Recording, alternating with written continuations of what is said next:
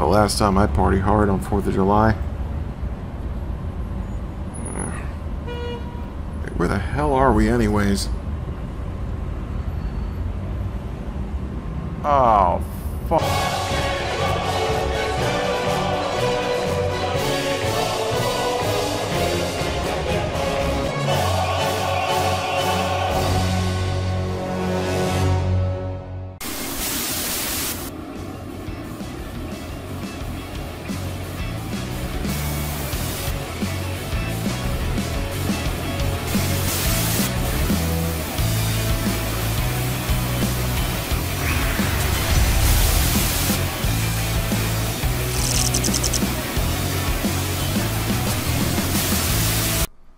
What's up, everybody? Welcome to Tones Overthinks It, the show where I think too much to make up for the people who don't think at all. So, as promised, Fezzington and I are going to be covering sovereign citizens all over the world, and I'm sure you're all thinking this is the last place on Earth we're going to find any.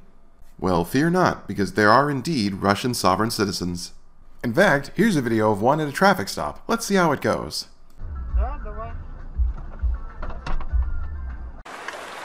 Are you serious? Well, this guy certainly didn't waste any time. Что вы делаете? Нет. Вы не... Вы понимаете? Now, unfortunately, I don't speak Russian, and this video didn't come with any kind of translation, so you can just assume that he's saying the typical things, like he's traveling, not driving, he doesn't contract, he doesn't consent, and to be perfectly honest, for all we know, he may not even be a sovereign citizen, but this is consistent with that typical disregard for the law and authority, and a serious, blatant disregard for potential consequences. So let's see how long via circular conversation and stalling that the driver chooses to drag this out before the cops drag him out. Понимаете, что вы делаете? Хотите сломать, я сломаю сейчас. Вы понимаете, что вы делаете? Я еще раз говорю, окошко опустите. Ну и что? Все, и что? Окошко опустите. Вы не имеете права влазить.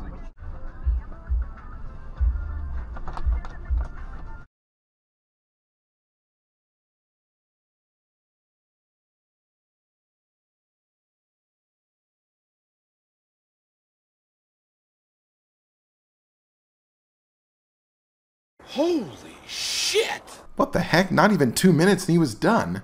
Something I'm sure Putin's ex wife said on a regular basis. Anyways, let's try to move on to another traffic stop.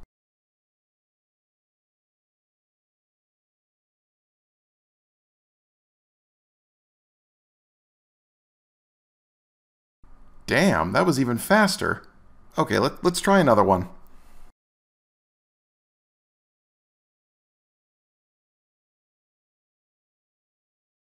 Okay, I give up. It's painfully obvious that no Russian sovereign citizen is going to try their nonsense in their own country, because, well, let's be honest, Russian police don't screw around.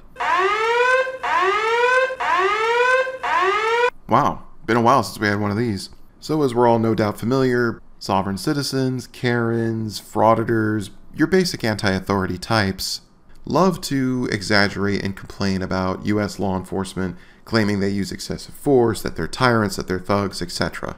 But in reality, compared to other countries, our police are actually quite tame by comparison. I mean, one need only look at the data from countries even willing to report how many fatal police encounters there are every year. And even there, the US doesn't even make the top five. So you can only imagine what the numbers are in other countries that don't feel beholden to the rest of the world to report them. So if you think you're having a bad day with police here in the US, just know that it could be a lot worse anywhere else. So when you're a sovereign citizen from a country that won't entertain your bullshit for even a second, what do you do? You go to the US, of course. Now originally I would have loved to have made this video about the ever so entertaining Lenka Koloma and her latest shenanigans, And this is something probably just mind blowing to you. Probably never heard it before. But when you go home today or when you go to your desk, please look up uh, 28 USC. USC stands for United States Code, section 3002, paragraph 15A. You know what that will tell you? Is that United States is a federal corporation. but it turns out she's actually Czechoslovakian, and also frankly listening to her for more than two minutes runs the risk of my brain melting. But fortunately, thanks in no small part to a channel called Coffee and Donuts, we found the next best thing. I'll leave a link to their channel in the description, be sure to head over there, subscribe, and show your support, As I've always said, body cam channels are vital. They do a great service. They're willing to go out and find all these clips and make sure that they're available for public consumption and are far better agents of transparency than any frauditor ever could be. So today we're going to take a look at a video of yet another sovereign citizen Karen from Eastern Europe trying her luck here in the US. She claims to be a free woman, but in the end all she really does is argue her way into getting arrested for contempt of court. Leave me alone. Oh, leave Ma'am. me alone. Alex, Ma'am. I want you to record everything. I'm politely asking you Leave to stand up, please. But Please I stand don't up. want to. I don't care if you want to or not, ma'am. I'm Me asking neither. politely to stand I, but I don't care what you want. Asshole. Major asshole. Okay, we're only at the beginning and we're already off to a phenomenal start. First of all, that cop's answer, priceless. Second, we are dealing with a particular brand of narcissistic entitlement that I find both incredibly frustrating but also delightfully entertaining. This is the kind of person who thinks they are so entitled that the very concept of them being subject to any kind of authority or consequences is unfathomable to them, as we are about to witness constantly. Leave me. Leave. Alex, please record everything. Re- record everything. Record everything We're, record- we're recording. It's on body camera. No, leave me alone. Ma'am, Please stand up. Okay, once more. No. To this let's go. Gentleman who is a lawyer up. for Stand her Hillsborough. up. Stand her up. Let's go. Ma'am, stand up. You have no All right. rights to touch me. Leave me alone. Place your hands behind. Ah! Ma'am, place My your hands hand behind- hurts me. Okay, can you Wow. That sudden shift from wailing to just nonchalantly saying you're in pain sounds really convincing, lady. place your arm behind your back? no, leave me alone. You have no right to arrest me. You have no right. No, I'm not this, I'm just visiting here. You got my papers from me. That's, that's a crime. That's a crime. I'm just visiting here. You receive, leave Oscar me. 64993. Ask them to leave me free. Ask them to leave me free. No, you didn't Can answer you mark my the time for one question. under, please? My Or basic 87. three woman questions.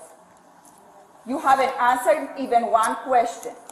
Lady, he's the judge.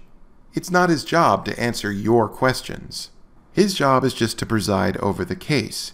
Now, if you have questions or require assistance because there's something you don't understand, then hire a lawyer.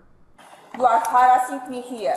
I came to visit and you harassing me but asking your people who are working for the same company as you to put and handcuff me and, and harass me. 130. Yes, Your Honor. Leave me alone. No, leave me alone. Leave me alone. Go ahead, sir. Keep saying it, Karen. Maybe after the 50th or 60th time they'll actually do it. No, no, no. I want the contract. Uh, show me the contract that I'm giving you the consent. When to you're them. clear, I can bring the uh, elevator up to you.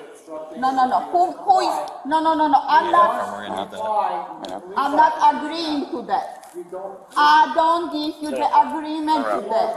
You are representing a private company, all of you. Walk- Let's walk her over. Let's, let's walk her over. I, you're representing a private company. Alex, take my document. Leave me alone. Leave me alone, traitor. Really? Traitor?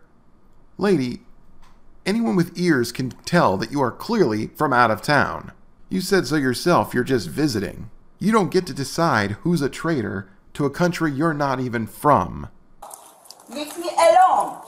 I want my papers with me. You're hurting me. We're not hurting you. You're hurting me. Leave me alone. Grab the door, please.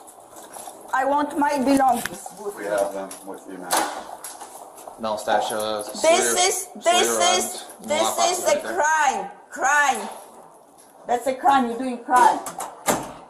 I'm already in contact with uh, special people. You're gonna you're gonna get uh, papers soon about that.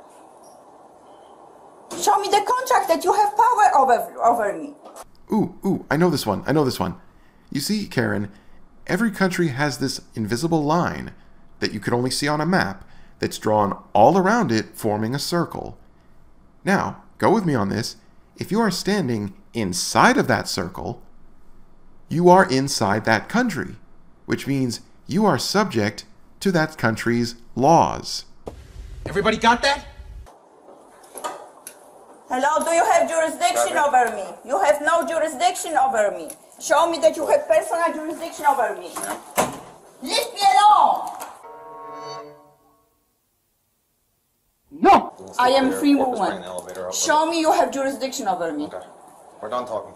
Show me you have jurisdiction over me. Show me you have jurisdiction over me. Well, you are there, you came to court, the judge found you in contempt, he ordered the officers to remand you into custody, and they did it. Sounds like they have jurisdiction to me. Leave me alone. Do you want to rape me here? What do you want from me? Everything's being recorded, man. We apply warrant. Wow, do you want to rape me? That's disgusting. What, really? You're that entitled you just assume you're going to get some action? Well, rest easy. I'm sure nobody is remotely that desperate. Certainly don't. Wow, I didn't you, you I did I don't want you to touch me. Well, I didn't give you consent to touch since the second we me. you You were touching my arrest. body. The judge gave you You three are touching. opportunities. No, he's just a civilized. lawyer working for a private company. He has no opportunities to act jurisdiction over me. He has no jurisdiction over me, and no, no, neither you. Okay. Leave me alone. Don't touch me. did we search Don't her? touch me. Ma'am? Stop touching me. Did we search her? Why are you touching me? Why don't we go ahead and search Why her? are you touching me? to take the, Why are you touching my body? Um, because you're under arrest? You know that you work for company. He works for company and so-called Christopher, who calls himself a prosecutor. You work all, all of you for the same company. How one person, one company can judge another person who belongs to the same company? Think about that. He is not a judge. He is employee of Hillsborough. They gave him a judge title, but he is just a lawyer and works for the same company like you. Why he is giving orders to somebody who works for the same uh, company? Look, I'm going to be honest, it's kind of difficult to follow what she's saying half the time in a combination of both her accent and the fact that she's just rambling incoherently. But if I can try to address what she just said simply, first of all, the United States is not a corporation. Um, even if it were, someone in a company can issue orders to someone lower than them in a company. It's called a hierarchy. Everyone who's ever had a job has had a boss. They've had someone they had to answer to. The only conclusion I could draw with this lady is that she's never held a job because she can't understand the concept of having to answer to anybody. And Stop. Stop. they both, they both, bosses wanted me to be arrested. No, I can do what I want. I am a free woman. and nobody cares for I mean I just came to visit here. Okay. I just came to visit here. Leave me alone. There are consequences to that too. Leave me alone. Everything has consequences. Yeah, everything has a consequence. Such as, I don't know, acting entitled and disruptive in court? And you, you're working against free people. You're working against with the people. Who is we? I'm sorry I keep interrupting, but seriously, this just blows my mind. You're not an American. According to you, you're a visiting foreign national. Like when American revolutionary author Thomas Paine got involved in the French Revolution, initially, he didn't claim to be French nor speak for them. It wasn't until after he was granted citizenship and was elected to a committee to help draft their constitution could he then speak on their behalf. You're not claiming citizenship, Karen, and I'm pretty sure nobody has elected you. I certainly haven't. Anyways, after several more minutes of her saying the same damn things she's been saying already, and at the risk of it getting repetitive, let's skip ahead to later when she's brought once again before the judge, and the prosecutor, in my opinion, delivers one of the best proverbial smackdowns to a sovereign citizen I have ever witnessed. Stop touching me. I don't want those people to touch me. For the record, I didn't allow them. I didn't give them the contract to have any rights over me and touch my body. They put something on my hands. They touching my body, and I didn't allow them to do it. They corporation, and they have no real contract with me, allowing them to do whatever they do to me right now. Judge, can I just be heard for one minute? Max. What? This is it! Rule 1101, summary contempt in the presence of the court. A judge conducting a judicial proceeding may adjudicate contempt summarily without an order to show cause if the conduct has obstructed, obstructed or if continued would obstruct the proceeding. The conduct occurred in the actual presence of the judge, was actually seen or heard by the judge. The character of the conduct or its continuation after appropriate warning unmistakably demonstrates its willfulness. Immediate adjudication is necessary to permit the proceeding to continue in an orderly and proper manner, and the judge has afforded the alleged contemnor an immediate opportunity to respond, all of which were filled here. Can I see? So the court has acted completely appropriately under Rule 10, uh, 110-1 with regard to how it proceeded.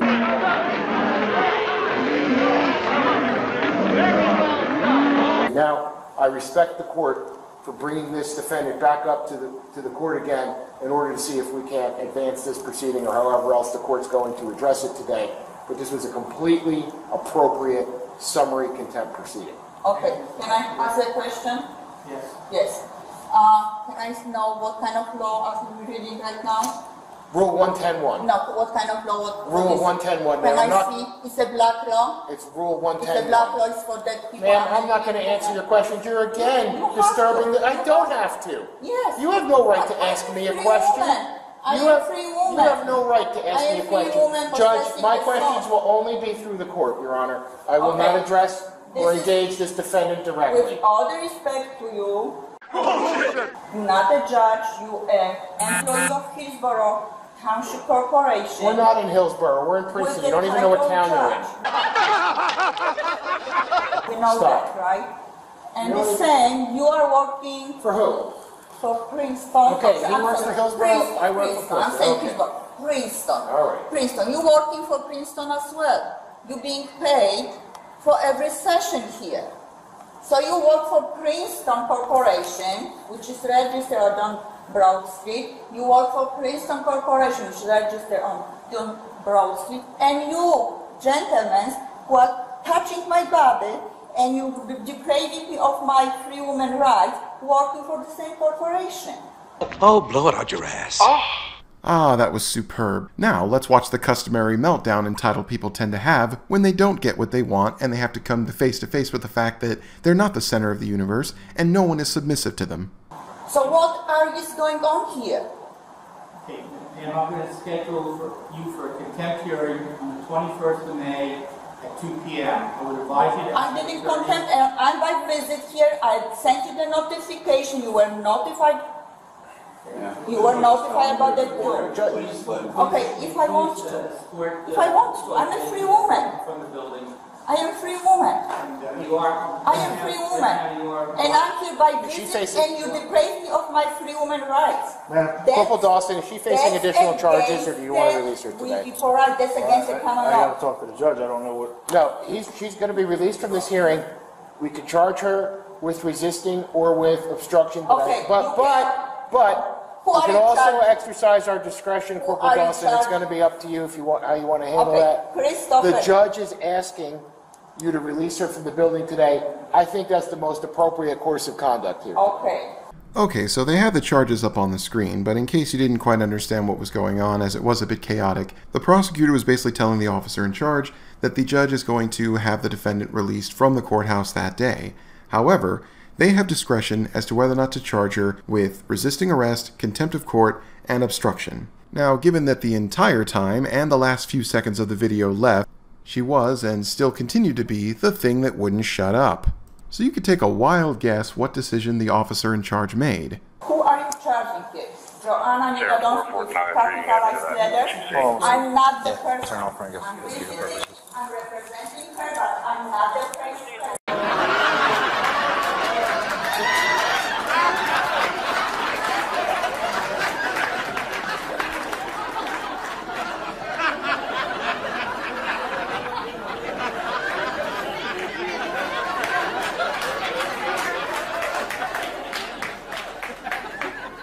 And that's where the video ends. Now I did have to cut a few parts out for the purpose of pacing, so feel free to head on over to Coffee and Donuts channel where you can find this video and many others in their original state unedited. So in the end, we've learned today that some sovereign citizens can be really, really full of themselves. I mean, this woman was positively oozing with arrogance and ignorance and entitlement beyond belief. And for someone who appears to claim to be a visiting foreigner, has the gall to think that they can openly defy and dictate to the lawful authority of that country. I mean, seriously, what kind of idiots think they could just go to another nation, brazenly take what they want, and then be suddenly surprised when there's actually consequences for it?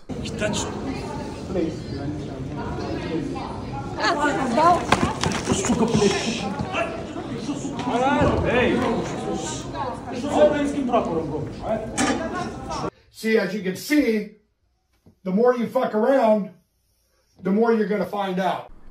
But then again, maybe I'm just overthinking it. Thanks for watching everybody. If you like what you see here and you want to see even more in the future, please consider subscribing to my channel. Also feel free to share your thoughts down in the comment section, I always love to read them. Till next time.